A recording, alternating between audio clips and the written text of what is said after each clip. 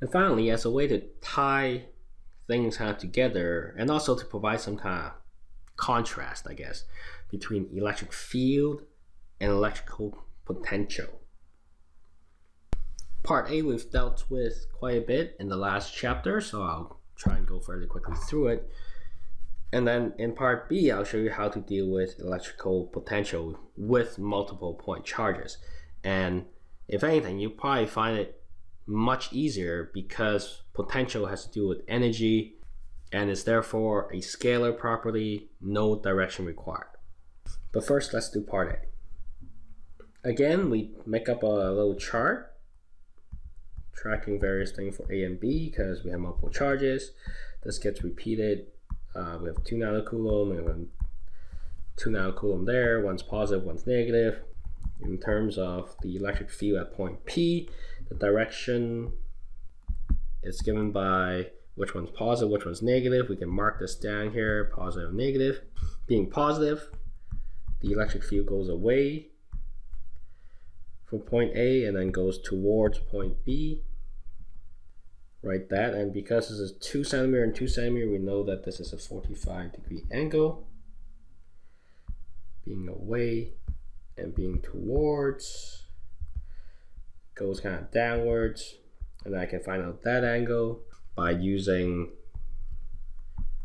this triangle here tan minus 1 of 4 over 2 opposite over adjacent we get 63.43 degrees, so 64.43 degrees.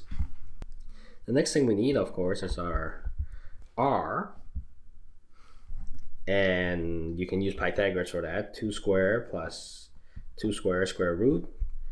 Converting to meters, you get that. And then 2 square plus 4 square square root you get that. The size of the E, of course, is KQ over R square. No different, using just the magnitudes here. And the complete R, just plugging numbers in.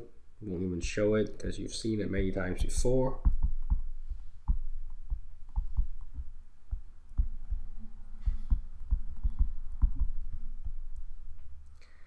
You get that. With that, we break it down into x and y, defining, of course, some kind of positive x, some kind of positive y. So this is negative e cosine 45, because it's going to the left. We get some number, Newton per coulomb in terms of units. For the y of this one, it's going to be positive because it points upwards, and it'll be sine 45 which gives us the exact same number. Likewise for the b, which happens to be negative for both the x and the y, using my 64 degrees, we can work these things out. summing up my x and y separately, we'll get some numbers of electric fields using Pythagoras then to work out my magnitude. And then we have a negative x, positive y, call that theta. can work out that theta is 26.4 degrees. So therefore, the total electric field at point P must be something like that. And it kind of makes sense because if you draw the entire field out, you find that this one side positive all the charges leaves it and then in the middle it goes from this towards that and it kind of bends around like that and maybe even that one as well so same thing over here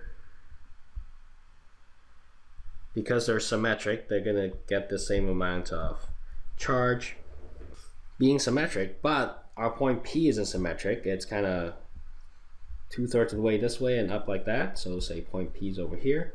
So you can see how the EP kind of looks like that, which makes sense, I guess, given the direction of 20 degrees or so. Okay, part B. This here we're talking about potential, so it's kq over r, not kq over r square. And once again, we have multiple charges, so we'll be doing a bunch of similar calculations, so let's make a chart. Different though, because we're dealing with potential, we no longer have to deal with direction but we do have to know the sign of the charge. So don't forget the sign here because that will give you a different potential.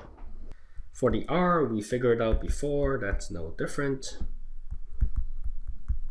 in meters. And then V in terms of volts, you can plug it in here and get these numbers. And notice I do keep the sign.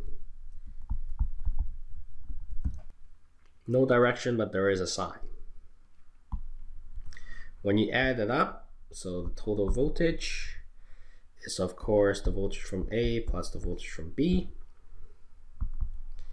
Adding them up with the sign, you end up with 233.67 volts or 234 volts. So positive voltage makes sense because it's closer to the positive charge. And we can go back and revisit our electric field diagram and draw in what we call equipotential lines. So as I mentioned, the equipotential line is always perpendicular to my electric field lines because you have to go perpendicular to the electric field to not gain any potential. Again, I remind you that we have this parallel bit is very important. So say down the middle, you know that it all looks like that. Perpendicular, perpendicular, perpendicular. And because of the relative size here, I know exactly that that must be, must be zero volts. So anywhere to the right of that, I should get some more positive voltage. And indeed I do. And here, the equipotential line so curves a bit because it has to be perpendicular there and perpendicular there perpendicular there. And this just so happened to be 334 volts. Uh, you can do a similar thing on this side, negative 234 volts. And then you can make tighter circles as long as you know it always meets perpendicular like that so you can kind of see these patterns forming. And why we favor drawing these equipotential lines because it's much easier to stick a voltmeter in here in between these two points and kind of run this line along to identify all the equipotential lines. And from the equipotential lines then we can infer the resulting electric field it's much harder to measure the electric field directly because otherwise you have to put a charge in there and measure how it moves. And these things being very small that's not very easy to do. We can have more elaborate charge configuration to give us more elaborate patterns like these. But for the most part, we'll usually just pick one point and then you can calculate out the effect from each of the charges, whether it be about electric field, where you have to decompose in a direction and add up the components, or electrical potential, where we simply add up the positive or negative potential as they come.